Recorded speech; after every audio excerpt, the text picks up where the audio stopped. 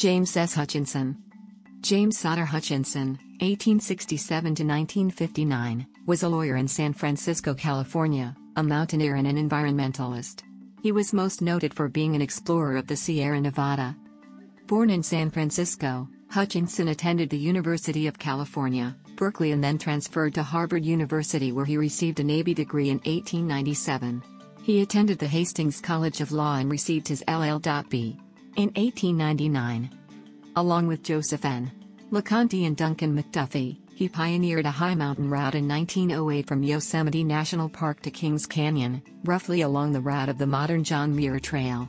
In 28 days, they completed a trip of 228 miles through the high mountains, including several previously unexplored sections.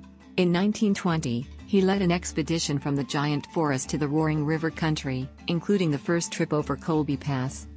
His first ascents included Mount Sill and North Palisade in 1903, Mount Humphreys in 1904, Mount Mills and Mount Abbott in 1908 and Black Kaweah in 1920. Out of remote Black Kaweah on the Great Western Divide which he climbed at age 52, Stevenson wrote, The way those ragged rocks were broken, splintered, massed and piled together, helter-skelter, would have rejoiced the heart of a cubist artist. Again and again, I was reminded of the nude descending the stairs, California mountaineering historian Steve Roper called Stevenson a prominent figure in the history of Sierra mountaineering and that he compiled the most enviable first ascent record any Sierra climber will ever have. Hutchinson became a charter member of the Sierra Club as a college student, and was active in the club throughout his life, including serving as a director from 1903 through 1908. He served as editor of the Sierra Club Bulletin in 1903 to 1904 and also in 1925.